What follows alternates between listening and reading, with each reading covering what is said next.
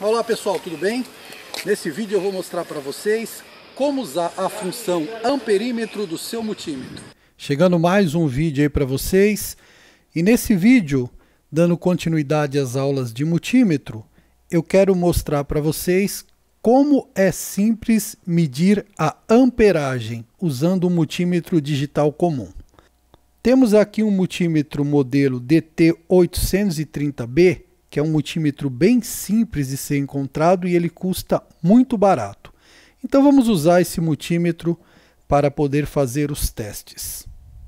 Primeiramente, nós vamos ligar o multímetro, colocar na escala de medição de corrente, ou seja, nessa escala que está escrito 10A. Tá? Vale lembrar que esse multímetro ele só mede corrente contínua.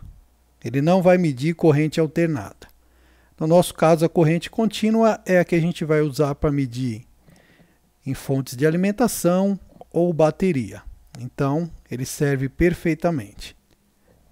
Primeiramente, nós vamos conectar a ponta preta do multímetro onde está escrito com, ou seja, no negativo.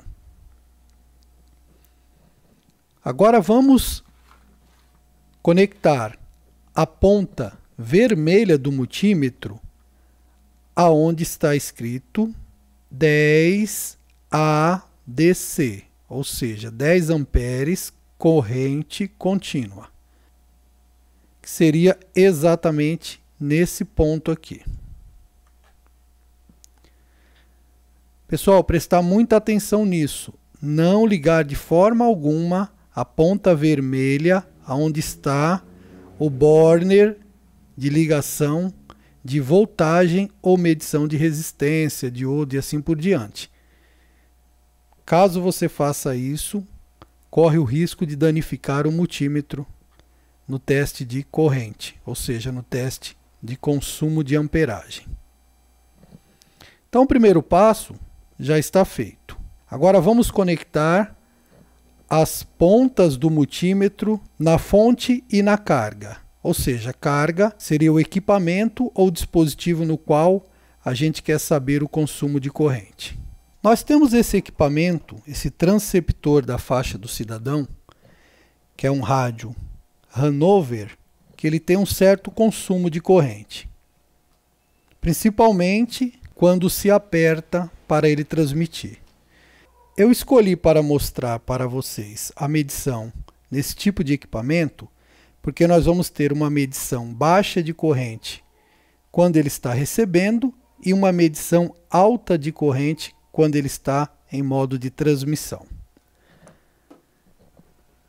Esta é uma fonte de alimentação ao qual provém a energia necessária para fazer o funcionamento desse equipamento porque esse equipamento ele trabalha com uma tensão de 13,8 volts e necessita de uma certa corrente. Essa fonte ela tem 12 amperes. Não sei se vai ser possível enxergar, mas ela tem 12 amperes, tá? 10 a 12 amperes.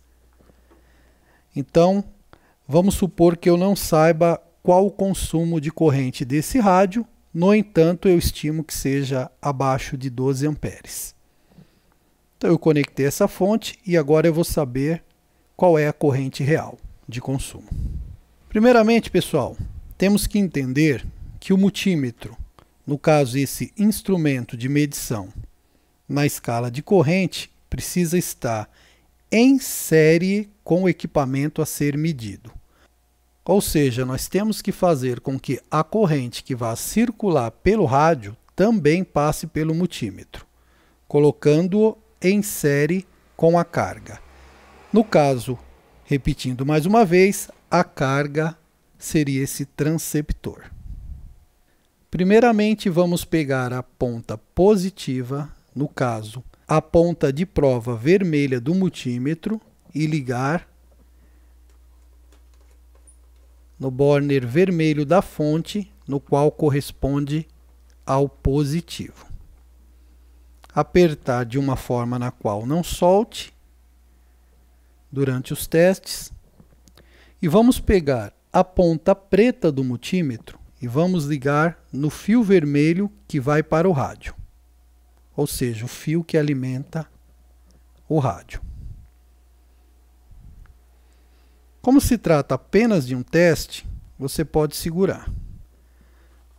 Vamos ligar a fonte de alimentação e notem que no visor do multímetro já apareceu uma medição. No caso, essa medição corresponde a 340 mA. Ou seja, esse rádio em recepção está consumindo apenas 340 mA.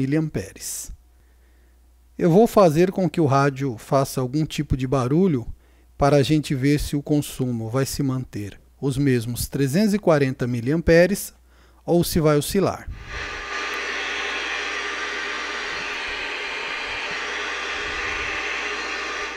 Notem que houve uma oscilação no visor do multímetro. Isso ocorreu pelo fato de haver um consumo maior quando esse chiado a gente aumentou o volume. Ou seja, então houve um consumo maior de corrente. Agora, pessoal, vamos ver qual que é a corrente de consumo desse equipamento quando em transmissão. Isso no caso em AM.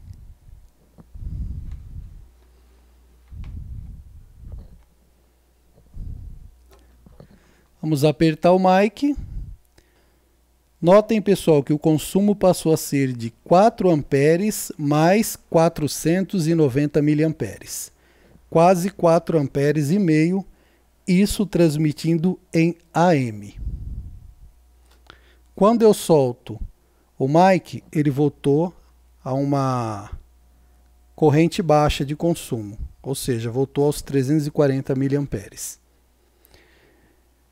Esse rádio também tem uma opção de transmissão em SSB, ou seja, USB e LSB, na qual provém um consumo um pouco maior. Vamos ver como é que fica o consumo nessa modalidade de transmissão. Ou, oh, oh, alô, som, som.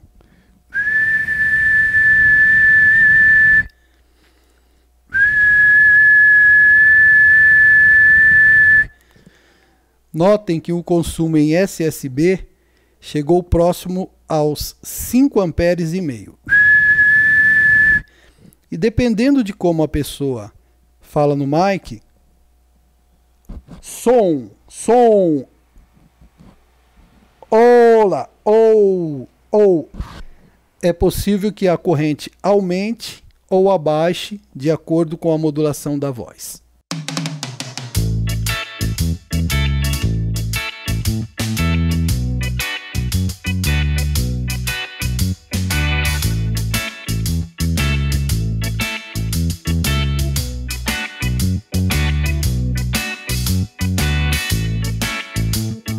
Vale lembrar, pessoal, que após utilizar esse tipo de medição, retire as pontas de provas do multímetro e desligue.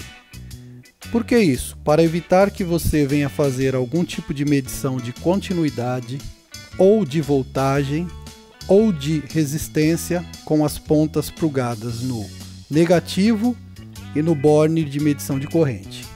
E não se esqueça, se você desligou o positivo de alimentação da sua fonte, para poder ligar novamente, desligue a fonte, desligue o rádio. Faça a conexão. Aperte bem, ligue a fonte e ligue o seu rádio. Quem gostou do vídeo, por gentileza dá um joinha, se possível comente e compartilhe o vídeo. Até mais!